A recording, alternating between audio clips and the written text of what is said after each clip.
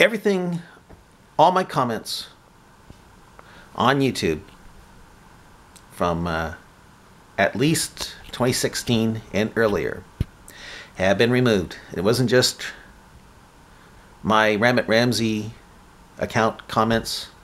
I discovered that my Dragon Driver 100 uh, account uh, comments to Muslims and atheists have been removed as well. All of them gone. You can see the comments of the atheists and the Muslims and whoever that I was talking to, but you can't see my comments. And why do you think this happened, folks? Why do you think this happened? Why did it? Uh, why did YouTube make it look like they're talking? These Muslims and atheists and stuff are talking to nobody. Why did they make me a nobody? Because I was somebody. That's why. That's why. Because I shined with my comments. That's where I was good at. Not the crappy videos I was making, the comments. And now, yeah, they got rid of me. They got rid of me because no one goes to my videos. no one sees my videos. I was good in the comments. That's why. That's why they got rid of me. And that's probably why I'll keep my videos up for a little while longer. I'm pretty sure they'll get rid of my comments too and delete my accounts. But you want to know something?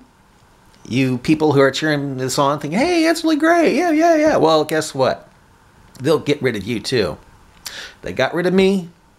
Yeah, they got rid of me. They'll get rid of you. Especially if you say something bad about Islam, which is basically exposing what the Quran Hadith say which you know if you talk about gee how come uh, the quran says that uh, it teaches that meteors burn the earth's atmosphere or stars will be chasing away satan? You know you're going to be gone. Or if you start bringing up about quran 424 where, where it allows muslims to rape your wife because it says forbidden to your married women. Can't have sex with married women except those whom your right hand possess. Guess what? You're going to be gone.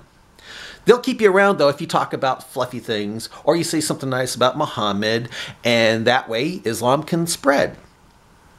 Islam spreads when people don't know just how stupid and evil it is. That's why they got rid of me. Yeah, and uh, they'll get rid of others. I'm pretty sure they'll get rid of the ones that are really good at exposing Islam, like David Wood and Christian Prince. But if they got rid of a nobody like me, someone who's only good at exposing Islam through comment form, yeah, they'll get rid of them too. And then you'll think, oh, there's nothing wrong with Islam. Hey, those guys are haters anyway. They hated Muslims, even though they didn't.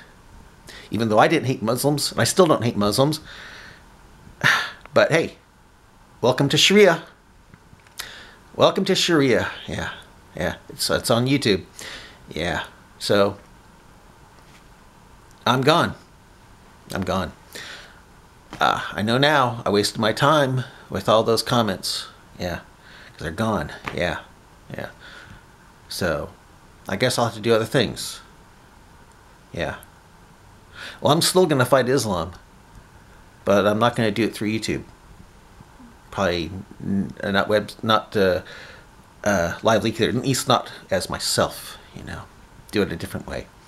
Yeah. Time to change the strategy here. Bye.